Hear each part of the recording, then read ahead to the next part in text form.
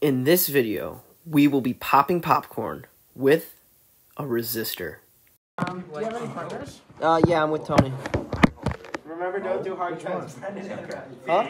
Okay, it's starting to like it's, it's really smelling like popcorn now. Which means that I, it should work, hopefully. Put more on. Probably should have done something to contain the heat. Which is why I'm considering cutting a hole in this and sticking. Oh, you did it!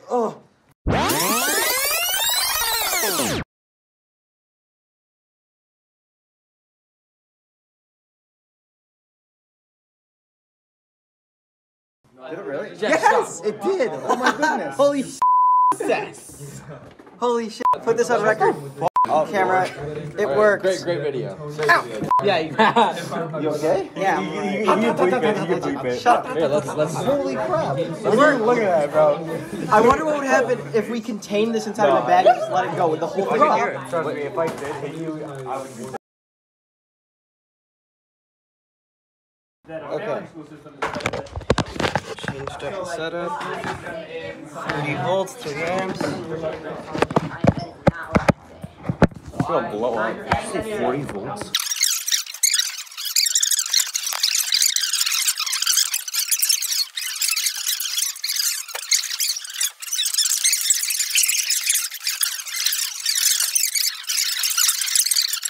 Nothing to help this spot. Oh my god. There's butter everywhere. Hold on. Oh, oh crap. How's it taste? It's boiling. It's definitely butter. Get her much in the Oh, oh. Oh. Ah. Don't, not yet. Now hold on. JJ, hold on. Really? You go straight to touching. Yes. This is the mess that I created. I forgot there's butter in there. Oh, burn this shit. We got a few popcorn Dinner kernels served. Right there. Why is there hair? What's the first bite?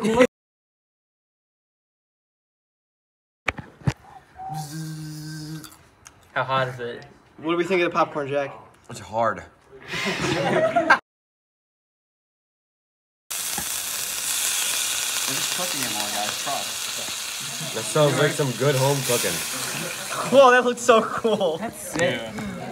Ready, Phil? Or Newark? Ready? Yep.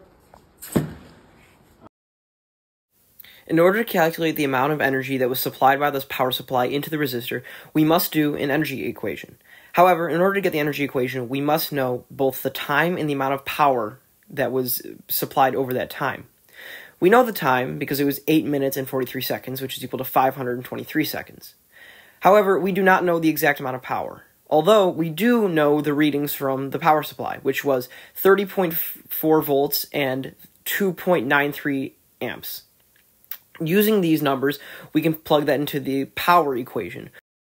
The power equation is that voltage times current equals power in watts.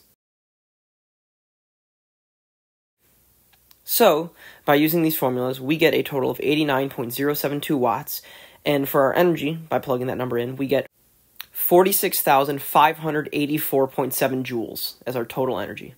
So, now you may be wondering, well, what's the point of that number? Well, I'll tell you. Let's get not guilty about eating all that popcorn. According to the very reliable source that, of course, is Reddit, a single popcorn kernel is only 30 ish calories. So, let's do the math and see how many calories are in the amount of joules we just used to pop that popcorn. So, by using the standard value that 1 kilocalorie is equal to 4,184 joules, if we take the total amount of energy that power bank used and divide that by the joules, we get around about 10 ish kilocalories. So, if we divide the amount one kernel is worth, by making one kernel, you burn 33% of calories. So, in the end, what do we get? Guilt free popcorn, baby.